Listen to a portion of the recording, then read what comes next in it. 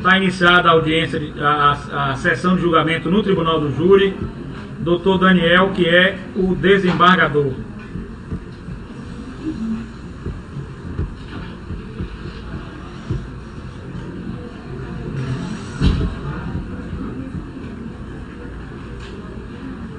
Vamos lá, gente, pode começar.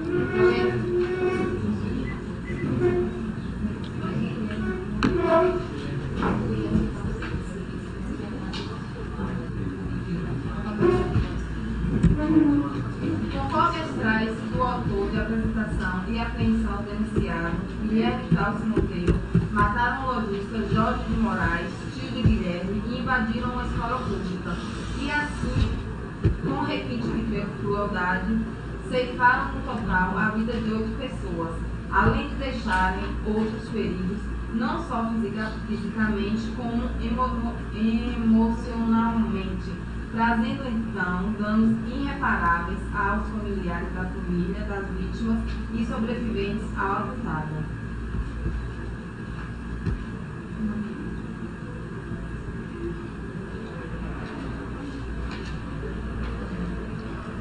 Narram os autores que, durante uma denúncia, através do 190, policiais militares foram acionados e compareceram na Escola Estadual Professor Raul Brasil.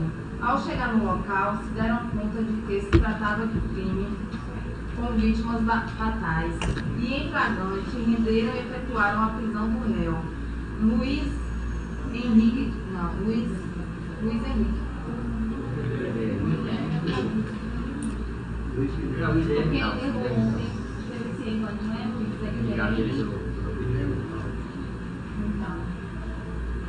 renderam e efetuaram a prisão do réu, tendo o autor, Guilherme Talso Monteiro, cometido suicídio logo após a chegada da polícia ao local. Com o mesmo foi encontrado um machado, um coquetel molotov, um arco e flecha, uma besta, um revólver calibre 38, e um jet largo, carregador rápido para revólver, além de munições sobressalentes.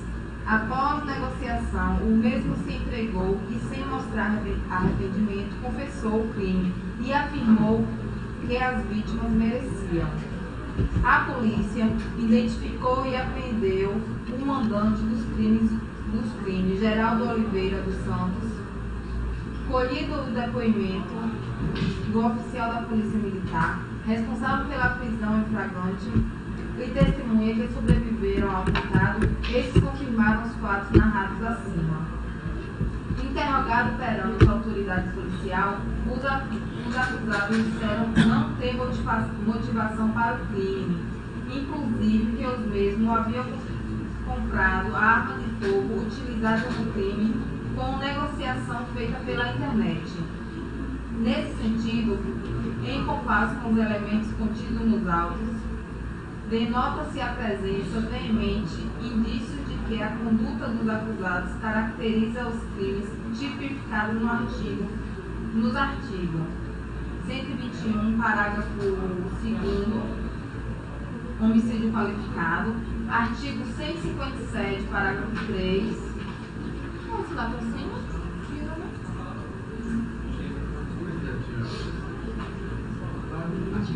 Eu não estou falando com vocês.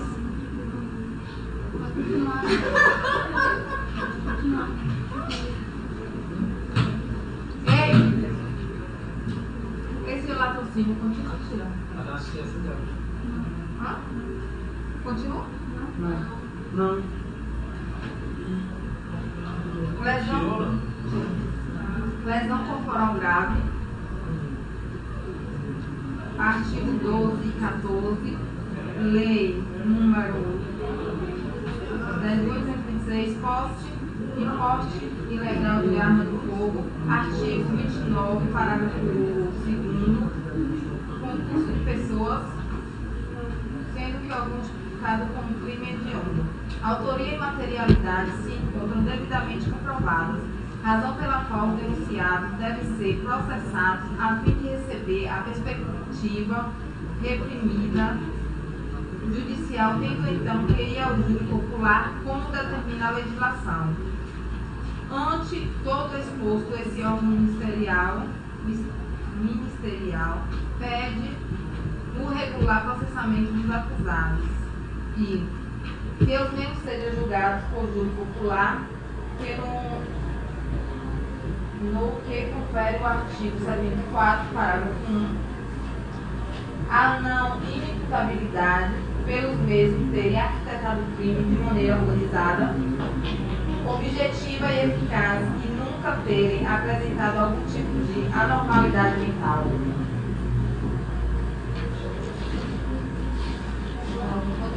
Sim, continuando. É, a gente gostaria de deixar claro mais uma vez que é referente ao atentado doméstico, segundo o artigo segundo da Lei 13.265 de 2016, referente ao terrorismo é, contra é, um cidadão, contra a própria sociedade ou governo, nós podemos, comprovar essa questão, é, segundo as provas adquiridas no Twitter do réu, que foram a Twitter e Facebook, que foram recolhidas provas que antes do crime ele postava detalhes sobre de como ele iria fazer e o intuito para isso. Ele queria chamar a atenção da sociedade e, e compartilhar ideias anarquistas, comprovando assim que a, a base da, do, do terrorismo em relação às ideias que os indivíduos tinham.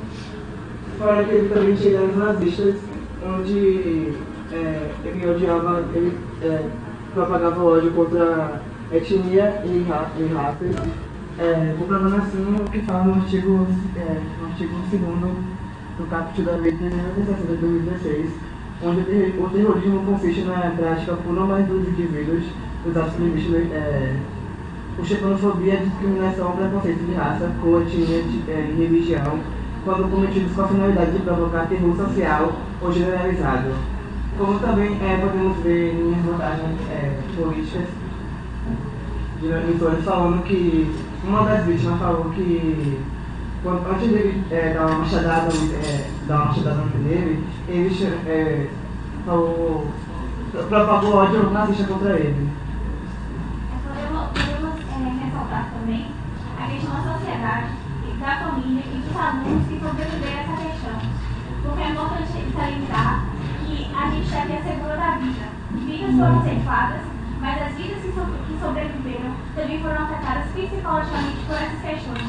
Os alunos daquele colégio ficaram um mês sem retornar por conta das atitudes feitas pelo, pelo Guilherme. Então a gente precisa é, entender aqui que o terrorismo feito por esses indivíduos afetaram não só aqueles alunos, professores, mas também famílias. Isso vai ficar gravado. Então isso é de influência para as outras pessoas e não cometemos isso. Então a gente precisa pensar, será que é, a gente precisa, vai permitir que umas pessoas que afetaram, que tiraram a vida de uma e afetaram a vida de outras pessoas poder, poderão continuar livres por aí? E também foi comprovada pela Polícia de Investigação a possibilidade, eles foram frequentados um fórum intitulado do Logolanche na Deep Web, uma internet considerada obscura na qual pessoas anônimas incitam crime de ódio e intolerância em grupo. E eles colocaram, eles publicaram. Muito obrigado pelos conselhos e orientações. Esperamos não cometer esse ato em vão. Teria escrito um dos assassinos dois dias antes do massacre em Suzano.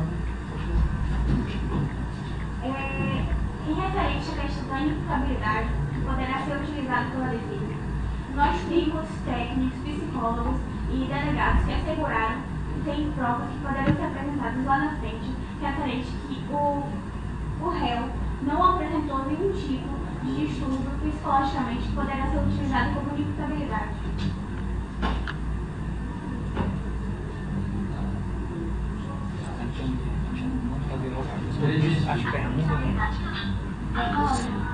Não, não.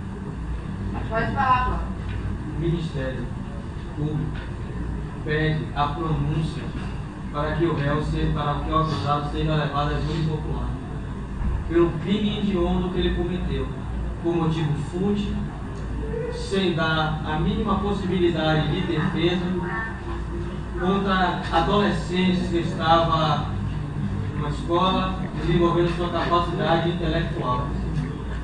Não levar o acusado a júri popular é dizer que o crime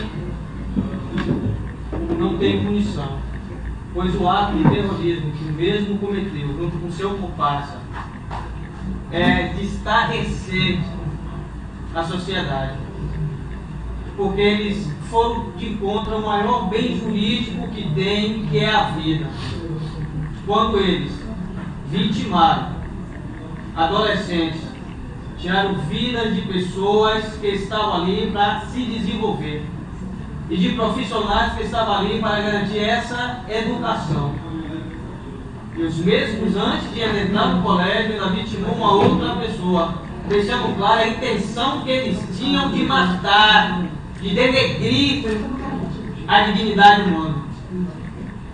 E de lançar na cara da sociedade o poder que eles tinham de matar, de forma cruel, sem deixar a mínima possibilidade de defesa daqueles que eles se projetaram e conseguiram executar, deixando um trauma psicológico, não só para os outros estudantes que presenciaram, mas para as famílias daqueles que foram vitimados e para os demais da sociedade que presenciaram esse crime que foi acompanhado pela mídia e a mídia tem vídeos, foi noticiado em diversos jornais, provas materiais que atestam que são os vídeos, indício suficiente, porque tem declarações deles nas redes sociais, a intenção que eles tinham de fazer o crime, não só a intenção, porque eles concretizou a vontade que eles tinham.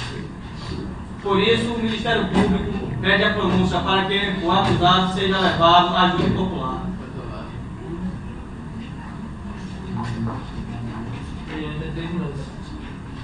É, nós tivemos uma testemunha, é,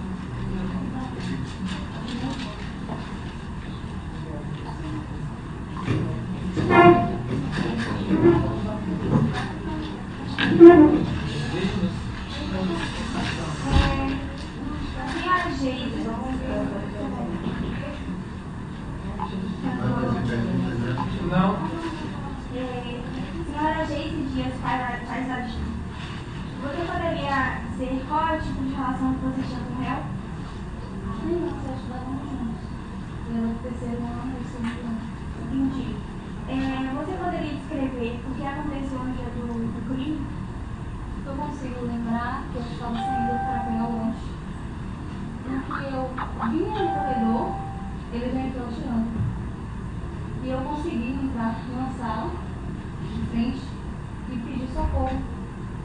Uma professora me socorreu, porque estava querendo na volta, me colocou dentro de uma sala e nos sacamos dentro da sala. Entendi. Após isso, aconteceu alguma coisa? Você chegou a sair? Eu não cheguei a sair, mas dava pra gente ver, abaixada, numa, numa janela de vidro, o qual muitas pessoas corriam, gritavam. Inclusive, tinha um, um que, além dele atirar, ele estava dando uma machadada. E um desses alunos colegas ficou com um machado lançado no pescoço. Entendi. Você viu alguma ação referente ao momento em que o Luiz Henrique assassinou o Guilherme? Não vi. Obrigada, É, eu tenho uma pergunta. Testemunha. Eu tenho uma pergunta de testemunha. É, ele chegou atirando em quem? Guilherme, ele já entrou atirando. Guilherme que estava com a arma ele chegou atirando.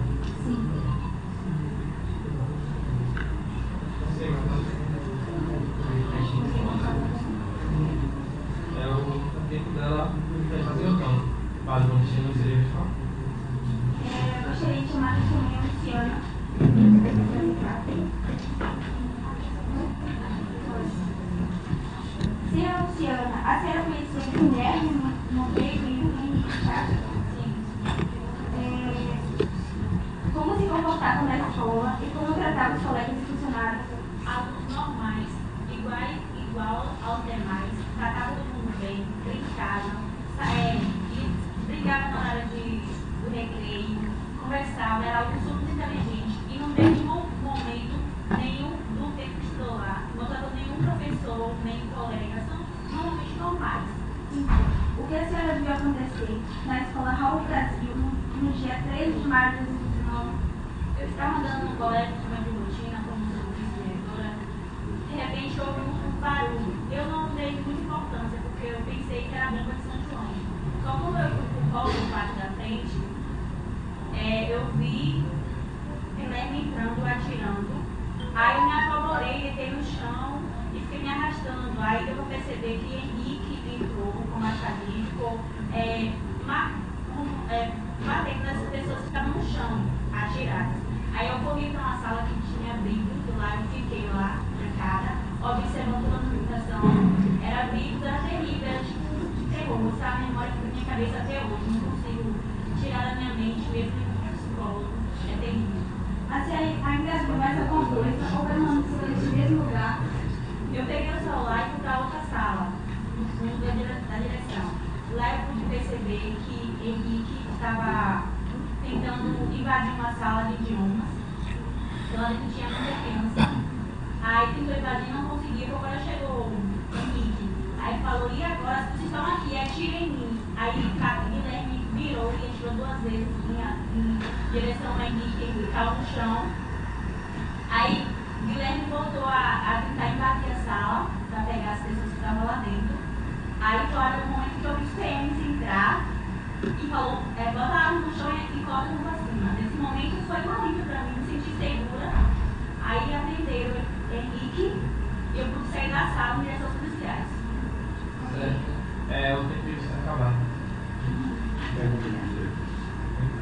Aí estiveram no processo de minas da Certo, assim, primeiramente com essa associação, logo mais, a associação será forte com esse testemunho. E. A partir de agora, faltando 15 minutos. Nossa Excelência, é um prazer é, estar aqui. Primeiramente, eu quero parabenizar o Ministério Público, pela atitude formal. É, primeiramente, também foi dito aqui que o réu ele é considerado homicida, um terrorista, ele é um assassino, é, é, é um caso de grande escala, é, a mídia evidenciou muito isso, mas não foi tratado aqui pelo Ministério Público quem é realmente o o ser humano, né? é que ele passou, qual era o seu passado, quais eram os seus traumas, quem era, quem é. Nós da defesa viemos aqui provar esse tribunal que o mesmo é sujeito de direitos. É, além de que, Vossa Excelência, nós temos declarações médicas, tribunal de policiais, temos é, também testemunhas que comprovam que o Luiz, o Guilherme Calcio Monteiro, ele vinha passando por dificuldades. Ele não era vítima, ele era uma vítima da sociedade. Porque se a gente fosse colocar aqui, Vossa Excelência, é, os verdadeiros culpados, é, temos aqui a vice-diretora, não quero perguntar a ela, interrogá-la. Quero colocar também aqui o secretário de Segurança Pública. Quero colocar aqui o prefeito de Suzano. Eu quero colocar aqui também o secretário de Educação. Por quê? Aonde um colégio, instituição de ensino, não oferece a segurança necessária, as garantias constitucionais para os alunos, o réu, os verdadeiros réus, deveriam estar aqui. São o secretário de saúde, secretário de segurança pública, o prefeito. Guilherme, que é uma vítima da sociedade. Aqui nesse tribunal que uma vítima.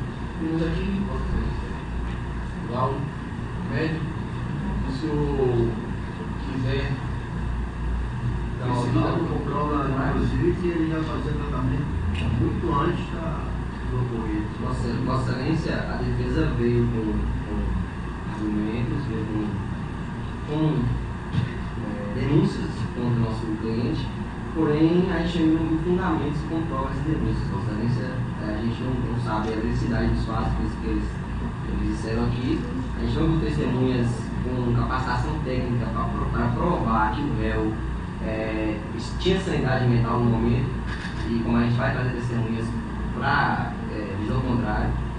E Vossa Excelência, como você vê aí, a gente tem uma prova, a, a defesa tem uma prova, tem um, tem um fundamento de que, de que a gente diz, nossos argumentos.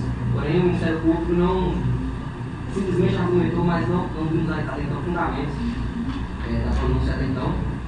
É, Vossa Excelência, doutora, é, disse que o réu sair não, não, não seria possível, seria contra a justiça humana o réu sair daqui livre.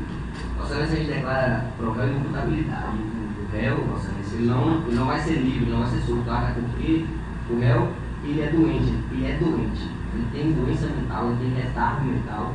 Então a gente pede a, liber, a liberdade do réu em, em, a princípio, a gente pede, Vossa Excelência, o, a internação do réu em uma clínica psiquiátrica, psiquiátrica para ele ter o tratamento adequado como um doente que ele é, não como não ser solto e nem preso é, junto com, com criminosos, de verdade, porque não é um criminoso, ele não é uma pessoa normal, é uma pessoa doente. É, a doutora também arguiu sobre o homicídio doméstico, Excelência. Ela, ela afirmou é, o interesse do réu sobre, sobre o crime cometido, sobre o, a, o, o, atentado que ela, ela afirmou inclusive provou um atentado terrorista. Vossa Excelência, o que, todos sabemos que o crime doméstico se baseia em três princípios onde, onde, o comete. Princípios políticos, ideológicos ou religiosos. A gente está tratando aqui, Vossa Excelência, de um, um jovem de 18 anos. Um jovem de 18 anos, doente mental, que passava por diversas coisas, como nossas testemunhas vão, vão mencionar aqui agora. Vossa Excelência, é, cabe uma reflexão ao senhor que, como um jovem de 18 anos, é, 18 anos, repetindo, não tendo ainda, ainda estudante, escola pública, não tendo ainda um pensamento crítico é, autônomo formado, justamente como a, como a Ministério Público pelo crime que cometeu, uma excelência como que o jovem desse iria se basear em princípios políticos, ideológicos e religiosos para cometer uma atentado dessa maneira. Então, é, a defesa deixa em reflexão é, a impugnação desse, dessa, dessa acusação de homicídio doméstico, porque ele não se caracteriza no perfil que a gente trabalha aqui hoje, de uma vida, a vida de um jovem de 18 anos que cometeu esses crimes em, em consequência do, do, que ele sofria, que a gente vai arguir aqui ainda, do que ele passou na vida dele. E é isso, Nossa Inclusive, Excelência, o Ministério Público colocou essa denúncia só que não colocou na inicial. Hoje na inicial, certo? Não está no inicial do processo. Ela narrou aqui como se tivesse no inicial, não estava no inicial do processo. Portanto, não cabe ele ser julgado pelos crimes que não tem sequer colocado na inicial. O pedido à parte, nesse momento não cabe. Essa sentença também, eu quero dizer ao senhor, é o 18 anos, é, é, está em destaque mesmo, como tem objetivos, objetivos, fanatismo, etc. E tal, são loucuras. Isso, na verdade, estão ofendendo os jovens. Vossa Excelência quer dizer também que a questão da arma de fogo, o peço do Público também prova aqui de onde veio essa arma. Pois, tem uma origem. É, e quando o ministro defere o tiro, quando a bala passa pelo cano da, do revólver, a bala ela tem uma liberação de ser. Toda a polícia no Brasil ela, tem, ela pode identificar na de Teste balístico. Teste balístico, isso é muito muito teste balístico. Então, quero que te qualifique, por favor, essa questão porte de arma. É, outra coisa, Vossa Excelência, como falamos aqui na imputabilidade, o réu ele possui também direitos. Direitos esses que está lá no artigo é, 149 e que vamos provar que o mesmo possui esquizofrenia, transtorno de personalidade e doenças mentais O mesmo fala, 149, que quando houver dúvida sobre a integridade do nova acusado, que se o ofício ordenará ou requerimento do Ministério Público do defensor, curador, que submeta o réu a exame médico legal, submetendo o grau ao exame médico legal e não tem provas. Onde a mesma doutora Ana Karine Leitão, com o laudo médico, ela fala que é, está sob os seus cuidados. Quando sai o resultado, o resultado no mesmo é a alienação do próprio de nome, personalidade e esquizofrenia. Além de que, Vossa Excelência, é, o réu, ele é réu primário, sem antecedentes criminais. É, o juiz também, lá no artigo sensação de periculosidade, pode ordenar também que o réu seja colocado numa clínica psiquiátrica e venha, durante um período de tempo, passar por exames que comprovem que o réu esteja se segurando. Provar isso que o réu esteja em suas condições de sanidade mentais, o réu deve ser liberado. Outra coisa é medidas de segurança, que são a internação psiquiátrica no hospital de qualidade, é, a internação, é, um, uma equipe médica que garanta que o réu, é, que, que venha tratar a patologia do réu, que vai ser provado aqui, é, está um tipo de medidas de segurança. É, e uma diferença, quero dizer aqui que não foram oito vítimas, por nove. E é uma vítima. Vítima da sociedade. É, como, o doutor falou, vocês, o tinha perder. É um jovem, é um jovem futuro brilhante, também um jovem estudando, tinha, tinha um plano familiar não, não tradicional, onde, onde a mãe era usuária de drogas, é, a avó que criou a vida toda o garoto faleceu há tempo antes de, de o jovem cometer o delito. E Vossa Excelência, é, o jovem, ele não, ele, ele é criminoso, Vossa Excelência, quando comete crime, ele pensa como, como fugir da cena do crime. Ele pensa, ele tem um, ele tem um objetivo, Vossa Excelência, que roubo, furto, é, ou vingança. Vossa Excelência, aqui a, o Ministério Público não, não apontou motivo algum para o cometimento desse crime, Vossa Excelência. Então, o o jovem, ele, por ter tudo a perder, não tem como. Não, é, é, agora é cabível, Vossa Excelência, um jovem onde tem tudo a perder, um jovem tem um futuro pela frente, é, não se preocupou ali em, em, em fugir ou. Ele se entregou à polícia, Excelência. Então, a, a partir disso, a gente quer deixar claro aqui que o jovem tinha um retardo mental, ele não estava sã. ele não, tentou fugir. Ele tentou tirar a própria vida, como acontece nesses casos. Sim. Todo caso de, é, onde já, ouviu falar, isso acontece muito em outros países, e todos eles tiram a própria vida devido a essa doença mental. Em outros países é tudo comprovado que essas pessoas passam por essa patologia.